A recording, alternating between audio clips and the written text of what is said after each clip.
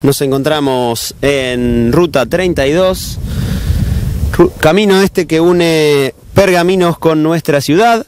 Estamos en el puente conocido como el puente de Rancagua. Ayer sucedió lo que hace tanto tiempo se venía de alguna manera anticipando.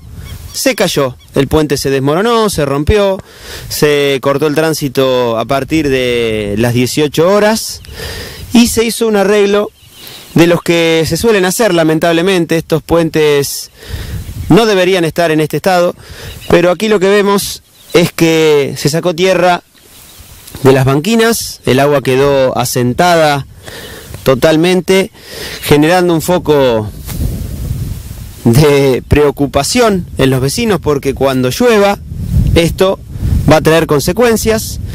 El puente está tapado con tierra, como ustedes lo pueden ver, cosa que también va a traer consecuencias ilógicas y cuando llueva bastante seguramente se va a inundar. Lo que nosotros estamos viendo es que el arreglo debería haber sido a priori por un rato nada más hasta que se pongan a trabajar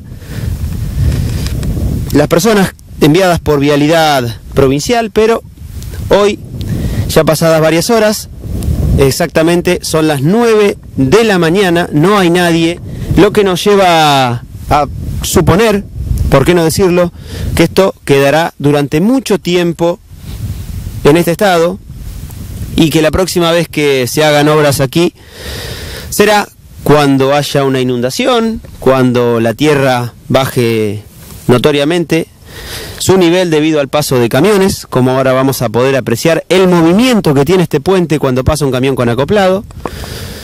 Y lamentablemente tenemos que decir que nos hemos quedado sin el paso del agua porque no puede correr, está totalmente tapado, se ha hecho una, una represa, perdón, y va a traer realmente mucho malestar en la gente de los alrededores.